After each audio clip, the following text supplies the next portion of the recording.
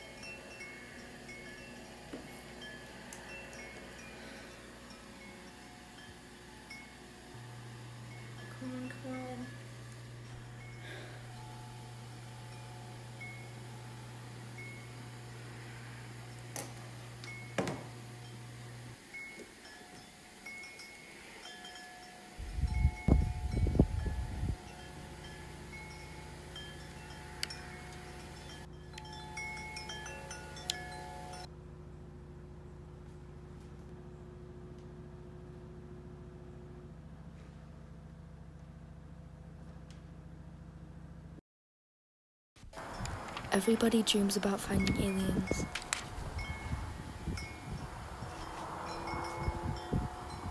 But nobody thinks about what would happen if aliens found you.